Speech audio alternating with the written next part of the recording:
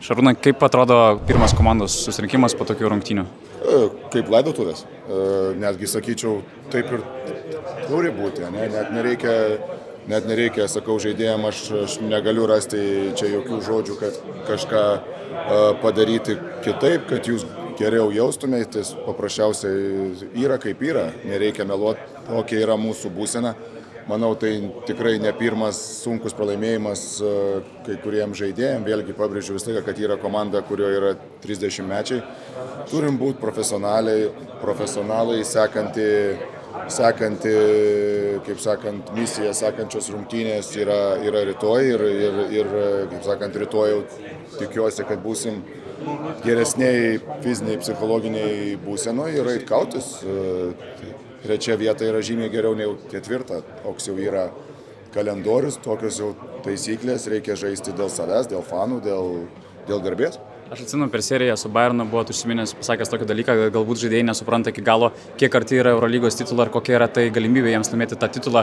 Ar tai galima įvardinti tai, kad atsižvelgiant į kokias problemas turi varžovai ir kokie stabilus buvo Barsa, kad tiesiog galbūt yra kažkiek paleista galimybė iškovoti titulą, kai jūs buvo tikrai nusipelnę to titulo? Taip, aš galvoju, žinai, čia nusipelnė, nenusipelnė, sunku sakyti, bet, nu, kad mes paleidžiam daug titulų su šitą komandą. Mes paleidom Super Taurę su plus 19, vakar irgi bet sakau, vakar mes visas rungtynės tikrai nežaidėm gero e, krepšinio, nebuvo patenkintas visas rungtynės, paprasčiausiai Madridas kažkiek tai rametinėjo, e, susikūrė savo progas pirmą pusę.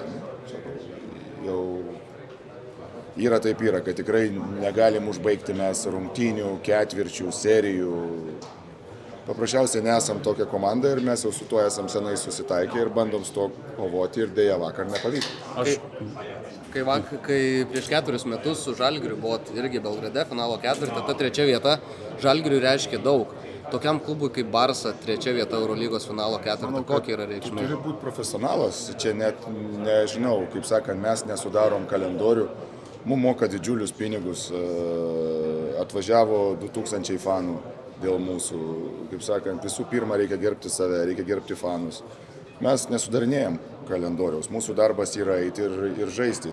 Trenerių darbas yra, kaip sakant, bandyti ruošti. Sakau, kažko, kažkiek galbūt ne tik visų šimtų procentų svarbu, dar turim daug žaidėjų, kurie tikrai neatėjo į Final Four dėl įvairių priežasčių labai geroj e, stadijoje. Dar reikia ir kažkiek tai, kad ir jie pasijaustų. Liko penkios savaitės, e, sekantį penktadienį jau pradedam playoffų seriją, ne pirmąją ASB. Nu tai, sakysim, kažkiek tai reikia laikyti balansą. Aišku, išlot norisi, bet dar reikia ir kitus dalykus kažkiek pasistengti pasiekti.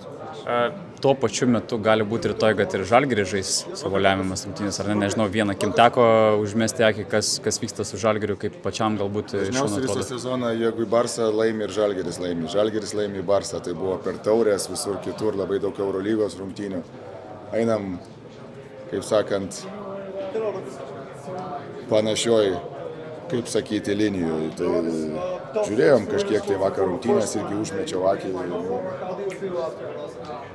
Dabar esam toj pačioj psichologiniai būsinai, kiek suprantu. Kalbant apie rytojus rungtynės, kiek svarbu asmeninės žaidėjų pastangos, kiek pats rungtynių planas pasiruošė? Jeigu tu negali tavęs motivuoti Final Four žaisti, Man neturėtų reikėti jų motivuoti. Sibet lažybos, lažybos, lažybos, lošimo automatai, Sibet.